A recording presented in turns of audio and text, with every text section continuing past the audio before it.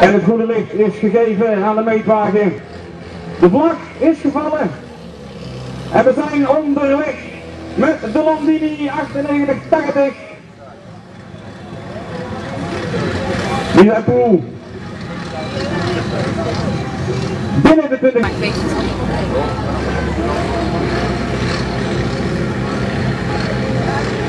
En voor de tweede poging gaat Wouter van Heijden.